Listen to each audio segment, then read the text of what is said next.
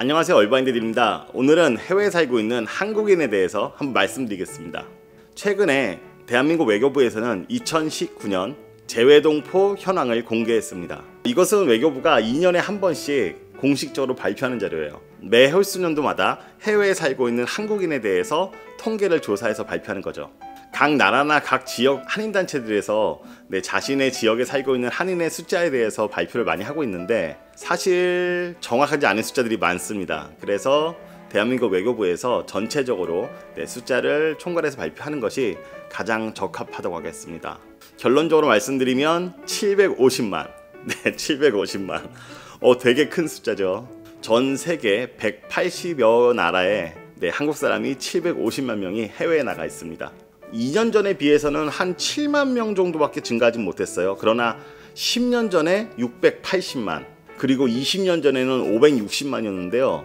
어, 대략 그러니까 한 10년에 100만 명씩 증가하는 숫자예요.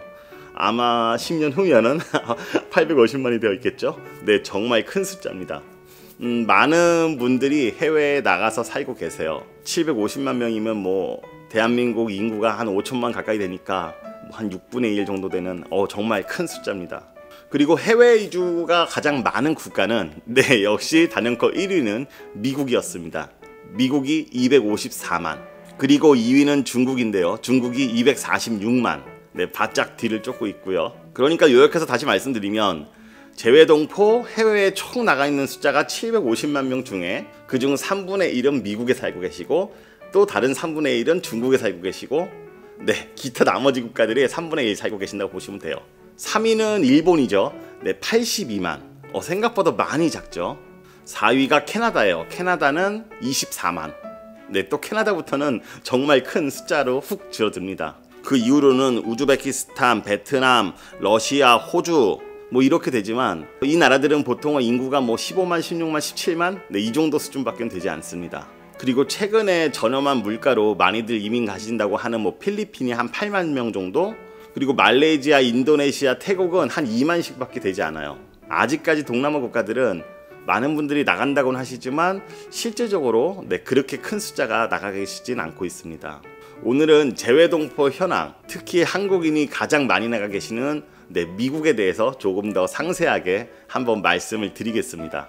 미국에 살고 계시거나 아니면 미국으로 오실 분이라면 한 번쯤은 정확한 숫자를 좀 알고 계시면 좋을 것 같아 가지고 오늘 소개 드리고요. 미국에 사는 한국인들 바로 지금 시작할게요.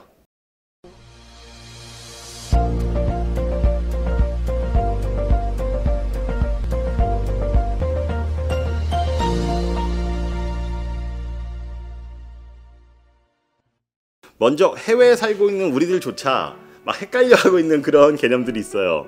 네, 교민, 교포, 동포, 뭐 해동포, 재외국민 네 이런 단어들이죠. 음, 많이들 혼재해서 쓰시는 것 같고요. 또 정확한 단어를 다들 잘 모르시는 것 같아요. 먼저 정리 한번 해보겠습니다. 먼저 동포. 동포에서 동은 같을 동, 포는 배포자. 그러니까 같은 배, 같은 어머니에서 태어난 같은 민족이란 뜻이죠. 네, 동포란 그런 단순한 개념입니다. 같은 민족. 여기에 비해서 교포라는 것은 다른 나라에 살고 있는 동포를 가리켜서 교포라고 해요. 마찬가지로 한자어인데요. 교자는 더부살이 교자. 어감에서 모두 그 교포란 단어는 뭐 그렇게 좋은 뜻을 갖고 있지는 않습니다.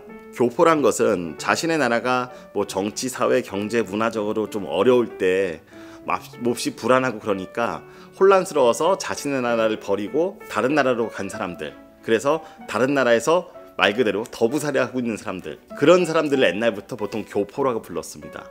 교밀이라는 단어도 마찬가지죠. 더부살이 교자에 백성민자 더부살이 하고 있는 민족의 뜻이에요. 마찬가지로 뭐 좋은 뜻의 단어는 아닙니다. 예전에는 해외에서 살고 있는 한국인들을 교포, 뭐 교민 뭐 이렇게 많이 불렀어요. 그러나 어느 날부터 이 단어에 좀 안 좋은 어감을 깨우친 사람들이 네, 교민 교포를 좀 자제하고 동포라고 부르기 시작했습니다. 사실 그게 더 정확한 표현이죠. 이제는 잘 모르시는 분들만 사실 교포 교민이라 부르지 많이들 동포라 부르고요. 또 각 지역의 그 한인 사회에서는 네, 그 교포라는 것을 좀 자제하자는 그런 운동들도 꾸준히 하고 있는 그런 상황입니다. 음, 많이 바뀐 것 같아요. 그러나 처음에 말씀드린 대로 동포라는 것은 그냥 같은 민족이란 뜻이지 사실 해외에 살고 있는 사람을 굳이 지칭하진 않아요. 그래서 정확하게는 해외 동포 아니면 재외 동포 이렇게 정확하게 표현을 하고 있습니다. 기억하세요. 이제는 교포, 교민이 아니고 재외 동포입니다. 네, 재외 동포가 정확한 뜻이에요.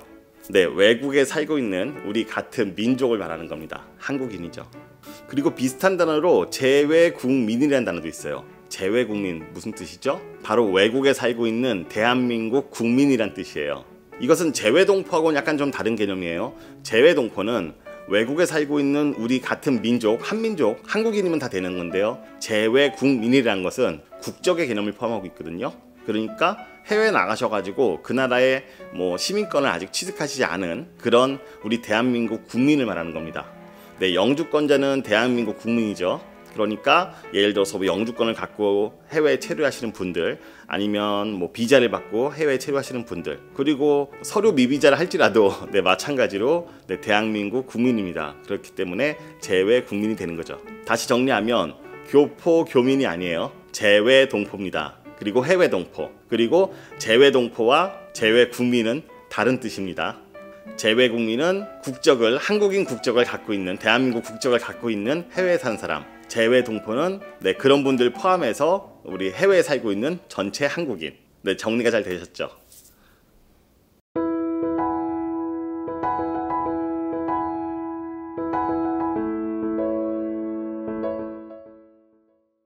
이제 미국 얘기를 해볼게요.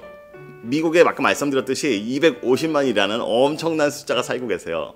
가장 많은 인원은 LA와 오렌지 카운티를 비롯한 남가주의 60만 명, 뉴욕과 뉴저지 지역에 33만 명, 그리고 샌프란시스코 산호세를 포함한 그 북가주 지역에 17만 명, 달라스, 휴스턴이 포함된 텍사스에 14만 명, 시애틀 시티가 포함된 워싱턴 주가 12만 명, 시카고가 포함된 일리노이 주가 10만 명, 애틀란타를 비롯한 조지아 주가 10만 명, 또 워싱턴 DC의 인근에 있는 버지니아 주가 또 10만 명 살고 계십니다. 그 밖에 한인 인구가 5만 명이 넘는 주로는 어, 7만 명의 메릴랜드, 또 7만 명의 펜실베니아, 마찬가지로 7만 명까지 상승한 하와이, 그리고 5만 명이 살고 계시는 플로리다 정도가 있습니다. 그러니까 다시 정리해서 말씀드리면 사실 미국에 250만 명 살고 계시지만 그 중에 가장 많은 숫자가 살고 계신 LA와 뉴욕 정도 그 두 군데만 합쳐도 사실은 100만 명이 넘어가요.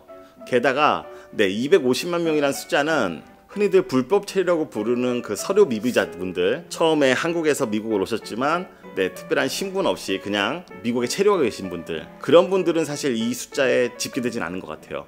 그래서 그분들은 또 대부분 대도시에 많이 계시거든요. 그러면 실질적으로는 남가주 지역에 한 80만 명, 그 다음에 뉴욕 지역에 한 40만 명. 그래서 두 개 합쳐서 한 120만 명 정도 살고 계신다고 보시면 됩니다. 그러니까 그 두 지역을 합쳐가지고 미국 전체 인구의 한 반 정도가 살고 있다라고 보시면 돼요.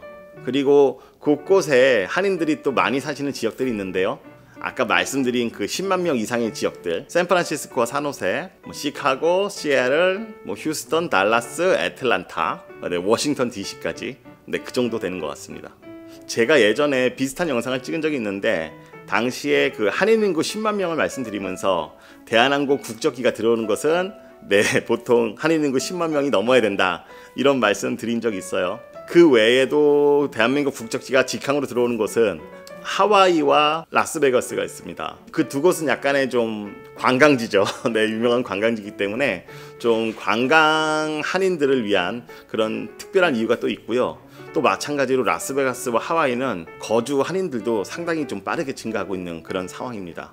그리고 한인 인구의 변동을 살펴보면 최근에 한인 인구가 가장 빠르게 증가하고 있는 것은 달라스를 위시한 그 텍사스 주입니다. 네, 달라스와 휴스턴이 존재하고 있는 텍사스 주. 그리고 조지아주의 애틀란타도 상당히 빠르게 한인 인구가 증가하고 있고요. 그리고 좀 전에 말씀드린 하와이가 정말 인구가 많이 증가하고 있어요. 하와이 하면 그 맑은 공기 생각나시죠? 그리고 쾌적한 자연 환경. 음, 그래서 좀 하와이는 물가가 정말 많이 비싸거든요.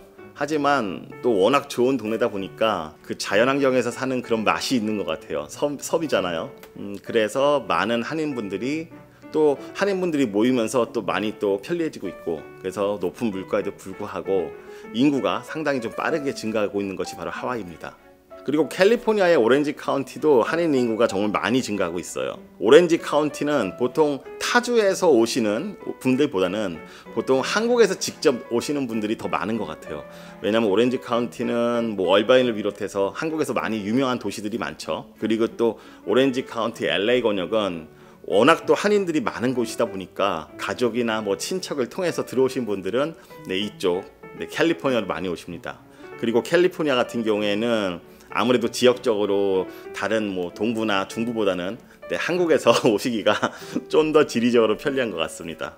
그런데 안타까운 점도 하나 있어요. 말씀드린 대로 한인 인구가 한 10년에 100만 명씩 증가하고 있죠. 그럼 정말 많은 숫자거든요. 근데 그럼에도 불구하고 사실 뉴욕이나 뉴저지 쪽은 한인 인구가 살짝 살짝 줄고 있습니다.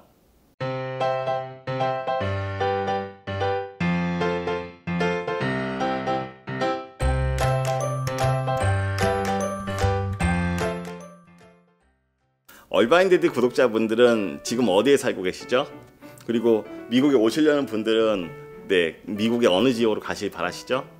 일반적으로 많은 분들이 캘리포니아를 꿈꿔요. 하지만 캘리포니아는 타주에서 넘어오시는 분들보다는 한국에서 직접 오신 분들이 되게 많습니다. 음, 날씨도 좋고 쾌적하고 그리고 또 한인 인구가 워낙 많다 보니까 어, 생활이 정말 편리해요. 그리고 교육도 좋은 편이고. 근데 역시나 조금 비싸죠. 근데 미국은 가장 완벽한 자본주의 국가라고 하잖아요. 그래서 그런지 지역도 싸고 좋은 지역은 찾기 힘듭니다. 네, 비싸면 비쌀수록 좋은 경향이 더 커요.